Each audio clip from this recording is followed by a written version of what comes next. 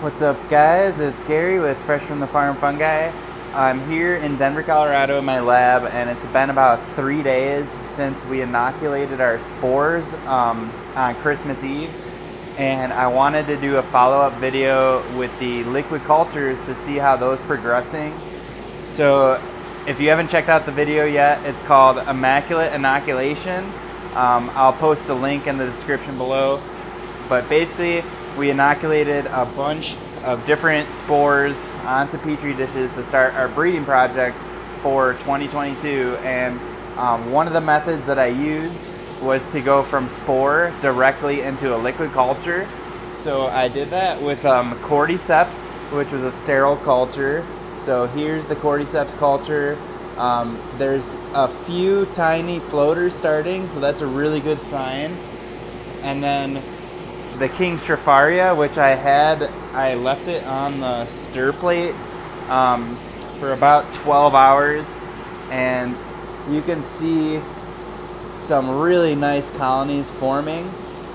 So a lot of people ask me, why would you go from spore into liquid culture? It's pretty risky, and I do agree with that. But the upside is that it's going to save a ton of time, and by having a 3D matrix where the mycelium can grow, it can grow a lot faster, and it can be more selective and have a better chance of finding a mating pair but the downside is that there could be other contaminants that come along with the liquid culture or with the spores into the liquid culture, and that's what we see here. So I have this Matsutake culture, and it's been about 72 hours, and see how turbid that water is or the, the broth is compared to the King Stropharia.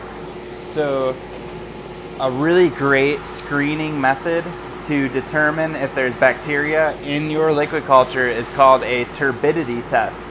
So when bacteria are in solution, they're constantly multiplying, and that's creating what appears to be um, a diluent in the solution, which causes it to become turbid. So a really quick and easy method is called the turbidity test. Um, it's more of a screening method. If you want to verify if there's bacteria, you're going to have to plate these out on agar.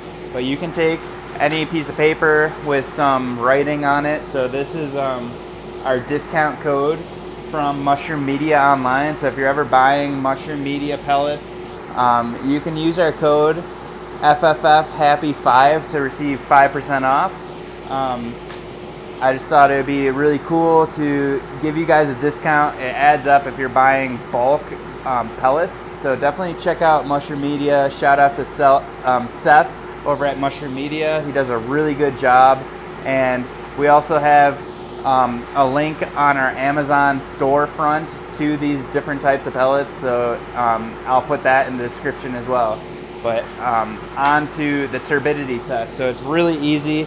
All you have to do is take some text and place it behind your liquid culture and you can see right now that you can't read any of the words but if I move over to this liquid these two liquid cultures I should say where there's no bacteria present you can clearly see the words so I know that some people like to use different compounds in their liquid culture, and that could affect this screening test. But for me, I just use um, pure filtered honey, and that way it produces a nice clear solution where you can easily see those mycelium colonies starting. So I'll have to go ahead and redo this matsutake. I'm really excited to try and plant these in our um, in our new property uh, among the ponderosa pine. So what I'm going to do is dilute that original spore solution probably about threefold and hopefully um, by doing that it will dilute out those bacteria and I might have to inoculate four or five different liquid cultures to get some mycelial growth. Alright guys, I hope you enjoyed that quick update and um, explanation of the turbidity test go check out Mushroom Media. Check out our new affiliate Amazon page if you're looking forward to um, ordering some pellets or we've got all of our lab gear on there that I recommend. Um, all right, until next time, much love.